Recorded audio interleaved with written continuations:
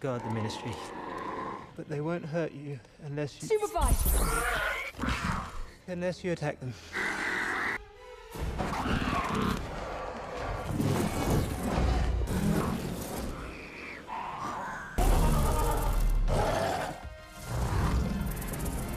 you